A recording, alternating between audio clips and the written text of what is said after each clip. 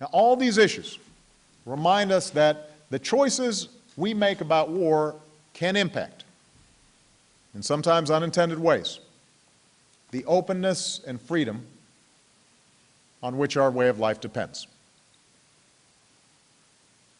And that is why I intend to engage Congress about the existing authorization to use military force, or AUMF, to determine how we can continue to fight terrorism without keeping America on a perpetual wartime footing. The AUMF is now nearly 12 years old. The Afghan war is coming to an end. Core al Qaeda is a shell of its former self. Groups like AQAP must be dealt with, but in the years to come, not every collection of thugs that labels themselves Al Qaeda will pose a credible threat to the United States.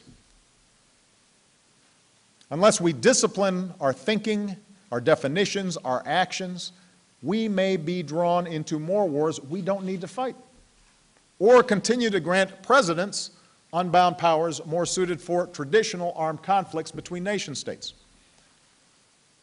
So I look forward to engaging Congress and the American people in efforts to refine and ultimately repeal the AUMF's mandate. And I will not sign laws designed to expand this mandate further. Our systematic effort to dismantle terrorist organizations must continue. But this war, like all wars, must end. That's what history advises. That's what our democracy demands.